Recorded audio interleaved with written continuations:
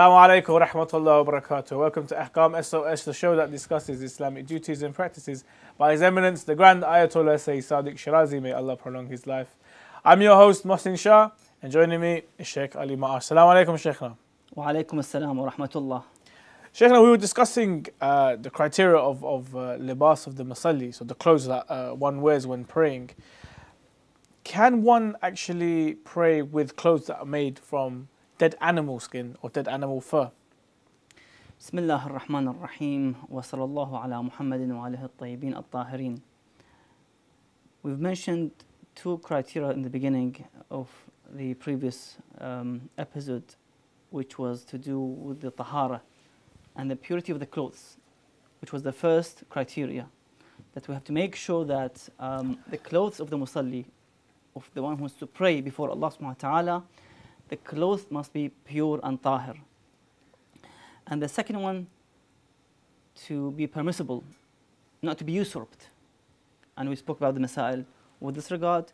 Now we move to the masail you mentioned, and that is not made of m- maita or dead animal corpse.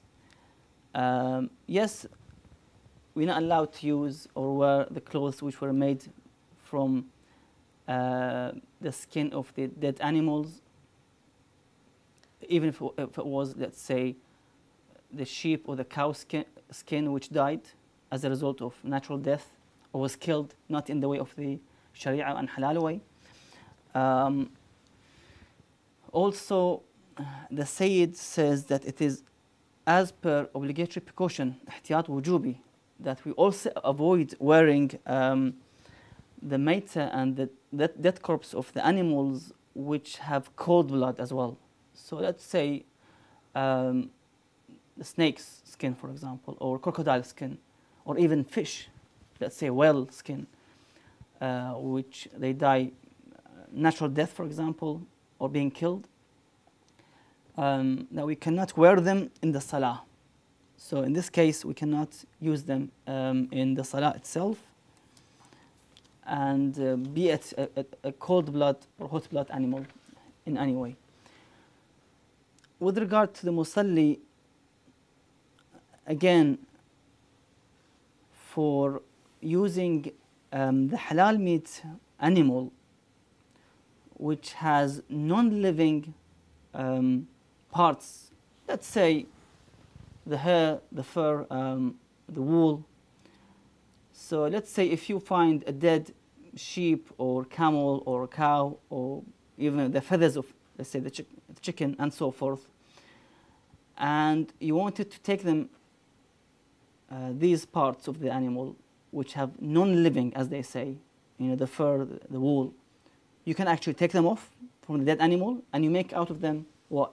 Clothings, garments, Mhm. trousers, and everything. And you can wear them in the salah because we have been using these clothes. Um, we've been buying, for example, uh, t-shirts, shirts, suits made in, for example, China, which is a non-Muslim country.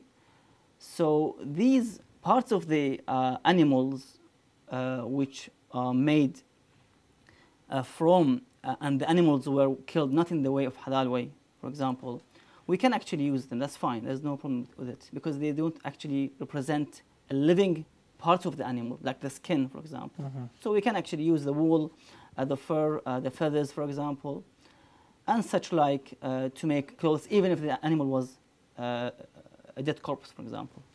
That's fine. What about animals which their meat is haram for us to eat? For example, a tiger or a lion or a, a bear. Um, are we allowed to use tho- those sort of um, fur and skin for salah? Again, with regard to the haram meat animals, such as the cat, the tigers you mentioned, lion, and, so, and such like, any parts of their body, uh, even the hair, the stand hair, if that was on your body, uh, the salah will be batil and void.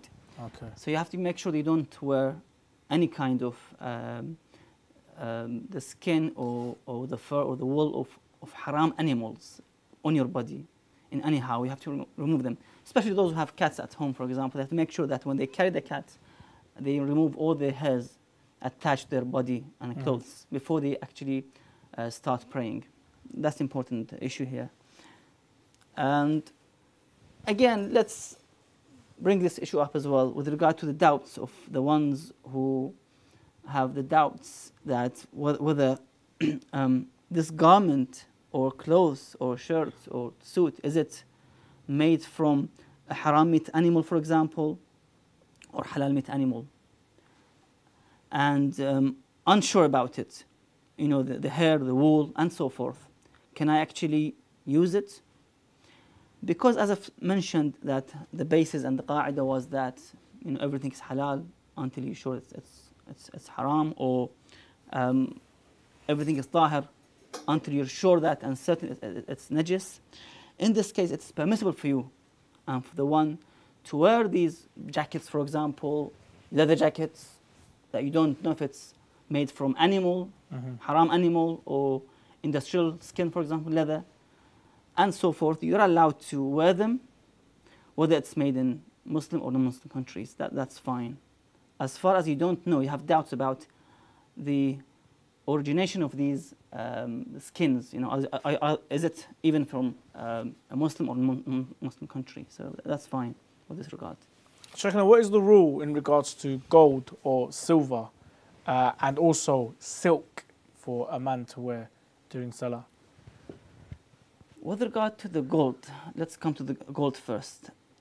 For the men, it is not allowed for them, number one, to wear the gold in anyhow, mm-hmm. in their hands as, as, an ornament, jewelry, or to wear the gold in the means of um, clothing, you know, the threads to be gold, made from the gold. Um, or the buttons are gold, golden button, for, for example.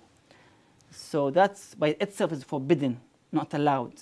And on top of that, it becomes haram and void if you wear them in the salah. It will make the salah invalid and batil. So there's two issues here with regard to the gold.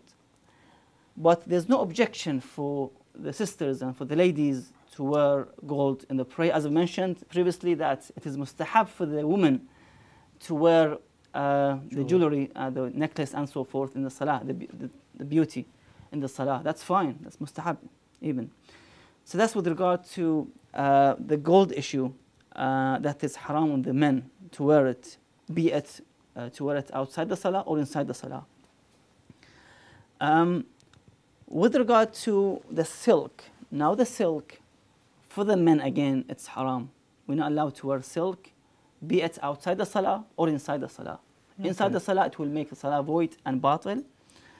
And um, with regard to um, wearing the silk for women, again, they're allowed to wear it in the salah as they are allowed to wear it outside the salah. The condition is different and the terms are different from men and women with this regard. Um, what if the silk garment isn't 100% silk? In the West, we have especially when it comes to ties and things like that, and and uh, handkerchiefs. They'll have silk, but it'll be thirty percent silk, fifty percent silk. Is this considered to be the same as silk and has the same ahkam rule, or is it different? Well, if it's something like the handkerchiefs and something that doesn't really represent um, the libas al-musalli, as I've mentioned, as a full garment, in this case, it doesn't invalidate the salah. Okay. The salah will be accepted. Um, as far as just it's just a um, small piece of, let's say, handkerchief or anything like that doesn't represent um, um, the libas of musalli, the clothes of the musalli, and be it a full silk, that's fine. Pure silk, that's fine. So that's so. So what's what doesn't represent? So can we get we can get away with a handkerchief? What about a scarf? Is that okay? Or that's no that that represents a libas. That could represent libas. I mean, it, you have to see if something can cover actually the body okay, part of okay, the body that's, that's, uh, represents the body. Then uh, as a cover for the body, then that becomes uh, the salah Thank you for clarifying that. Yep. Thank you, thank you. So Shaykhna, what about if I have um, a bandage or some sort of uh, cast made from silk, is is that okay to pray in, or does it have to be removed? No, that's fine. That's not counted as wearing uh, that that bandage or, or, that um, plaster and so forth. So you can have actually uh, a bandage with, with silk, uh, uh, which is um, to do with uh, covering the, the, the wounds uh, on the skin, uh, even if it was made from the pure silk. That's fine. And Sheikh, now what happens if I have prayed Salah and I was wearing pure silk? Um, what would happen if I didn't know that this was made from pure silk? What would happen if I knew I was wearing pure silk, I can't pray in this, and then I forgot that I was wearing it and I prayed, and then I remembered after my prayer, oh, this was silk, I'm not allowed to pray with this. You see, um, if somebody prays while wearing pure silk and he didn't know, he was jahil, he was ignorant, or he forget, he forget to actually take off and pray. Uh, what the Sayyid says, the Sayyid differentiates between the qasir and the muqassir. The qasir is somebody who never knew about it. He completely never knew about that this was silk, and he prayed with it. The muqassir is the one who he knows that there's something called silk around, and he should ask. He didn't ask. He didn't search. He just went and prayed. So he knows that he should have been asked somebody or or the alim or whoever else to ask about the mas'ala. He didn't ask. Then uh, he says that it's um, as precaution, the salah is batil, uh, is, is void. But if it was just uh, being unaware, jahil, in ignorant about it, in overall, he never knew about it, then in this case, uh, the fatwa is that uh, there's no requirement to repeat the salah. It's correct. Uh, although it's ahwat or its precaution is better than to repeat the salah. It's better, but otherwise, as a fatwa, you know, the salah is accepted and is, is valid. Now what about if I have uh, what we call janamaz or masalla? Uh, and sometimes we have nice luxurious ones made of you know quite nice materials. If that is made from silk or has silk in it, is that okay? Well, because the, these things are not part of the libas al musalli. You know, you're not going to wear them. You're going to pray on them. Or you're going to cover yourselves as, as, a, as a blanket, for example. Um, so to pray on a janamaz or the pray mat made of, out of silk, um, there's no objection for that. That's fine. You can actually pray on them. Um and the salah is valid. Ahsan Sheikh, thank you very much. And thank you to all the viewers who have joined us on the first season of Ahkam SOS. I hope it was very informative for you. And inshallah, we'll be back in Ramadan for a Ramadan special of Ahkam SOS discussing uh, Ahkam in regards to fasting and in regards to the holy month of Ramadan.